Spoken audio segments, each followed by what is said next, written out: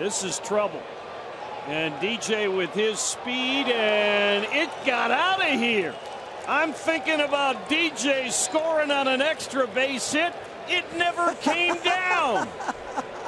Touch him all time for Carlos Gonzalez. And the Rockies take a two to one lead. That was incredible. That looked like a right-handed batter hit that ball. But it was CarGo. Number 26. That was on the line, opposite field. He knew it. I mean, you see the hop after the in, and that's going hard into that party deck area.